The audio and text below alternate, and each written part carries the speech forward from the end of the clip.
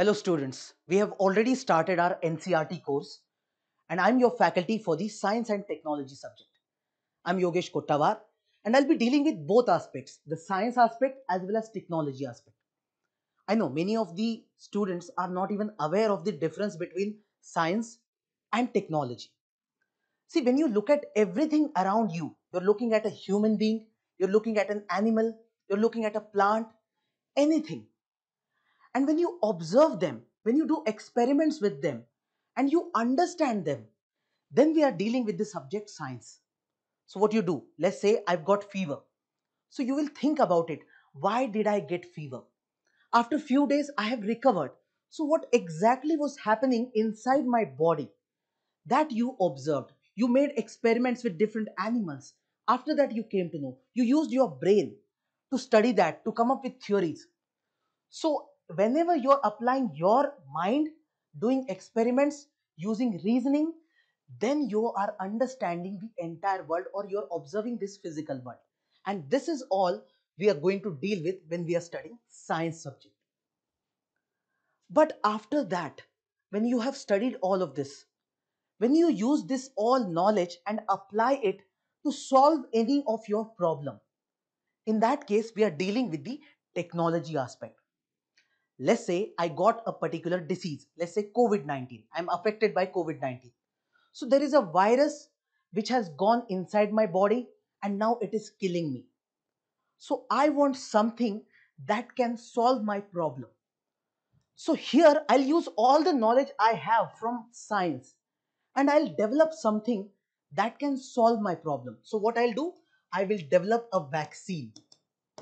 Now development of this vaccine is the technology aspect. It's not science. We used all the knowledge of science, applied it in the real life condition and solved our problem.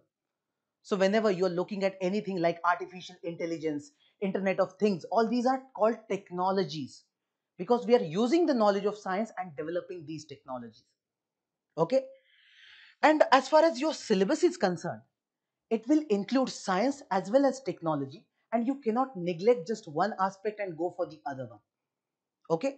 Now how important is this subject? So here i have a data for last 10 years of your upsc prelims papers. So from 2015 to 2024 and you can see how many questions have been asked in the examination. So in the year 2015 you see 7 questions then 10 8 13 14 13 12 14 8 7 so in the last 10 years, they have asked somewhere around 106 questions from science and technology part. So you can understand the subject is quite important. It is one of the important subjects. And seven, even if you're getting seven questions, then your score can improve substantially, right? Now, if we look at the syllabus, so this is the syllabus of prelims and in this syllabus, you will only see one term given over here, that is general science. So they have simply mentioned general science, nothing additional. So from general science, we are not getting any great idea about the detailed part of the syllabus. And if you look at the mains syllabus, so as part of your GS paper 3, which includes economy, environment, it also includes science and technology part. Now this includes developments and their applications and effects in everyday life. So whatever is your science and technology part, if not, not, anything new is getting developed, if anything new that is having some effect in your day-to-day -day life, then that can be asked. Okay. Second thing, achievements of Indians in the science and technology. So you can see if there is any Indian person or any Indian organization who is doing something, who is making some contribution to the science and technology part. So let's say someone from India got Nobel Prize in physics or chemistry. Or let's say ISRO has made something very new, some kind of a satellite. All that will be part of this. Okay. Then there is indigenization of technology and developing new technology. Indigenization means you are developing something in India, when you are doing, when you are making a new technology, when you are bringing up something that is very new, and that advancement is taking place in our own country, then that is indigenization. Technology is indigenized. Okay. Then awareness in the fields of space, IT, computers, robotics, nanotechnology, biotechnology, and issues relating to intellectual property rights. Now, this is the advanced segment. When you study entire science part, when you reach to the technology part, then you study the advanced concepts. So, when you reach out to the space part, robotics, nanotechnology, that will be an advanced concept. Unless you study biology, you can't understand biotechnology in the right way. So, overall, this science segment and technology segment will remain interlinked and connected. Okay. Now, look at this particular graph. Here you can see all those 106 questions which are asked in the last 10 years. If we divide them, if we look at only the basic science questions, now when I say basic science, your NCERT portion is anyway covering the basic science part. So your physics, chemistry, biology, all that part. 27 questions are coming from basic science.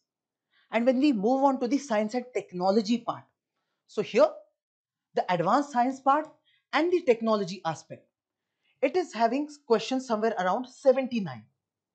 Okay, so you see almost 25% portion is from the basic science and remaining 75% is from the science and technology part. Now in this NCERT course, what we will be doing? First, our focus will be on this basic science because that is covered in the NCERTs. So we'll build our base and some aspects of this science and technology will also be included in this. So when you study entire NCERT from class 6 to class 12th, now not every NCERT, every chapter is important for you, but whatever is relevant, whatever is important for you, I have curated that content. So here you will be dealing with all the major aspects, but not everything will be covered because the technology aspect will not be part of NCERT. So you will be reading it from your newspapers or advanced textbooks. So in news, let's say you're reading a news about a new satellite launched by ISRO. So that will be part of your newspaper. But the knowledge you will get from your basic science that will be applied over there. So sometimes you will be solving any question directly with the knowledge you are getting from your NCERT part and sometimes you will apply that knowledge and do some kind of a knowledge or intelligent guessing using that knowledge or you will apply that knowledge. Okay, I'll show you some questions too which were asked in the previous year papers. So in the year 2011, you see this question from science and tech part. A married couple adopted a male child. So there is a couple, they adopted one child. Okay, one child is adopted. A few years later, twin boys were born to them. So after some year, this child is already there. Two more child children are born, twin children. Okay. Now the blood group of the couple is AB positive and O negative. They have given blood group of the couple. Okay, AB positive and O positive, O negative. Okay.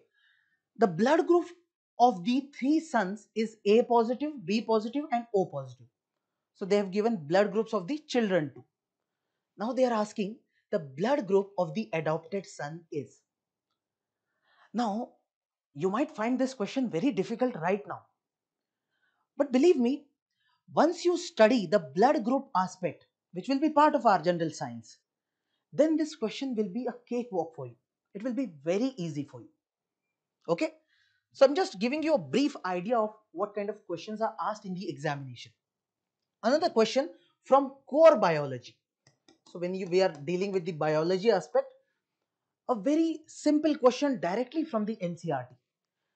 Which of the following statements are correct regarding general difference between plant and animal cells? Plant cells have cellulose cell walls while animal cells do not.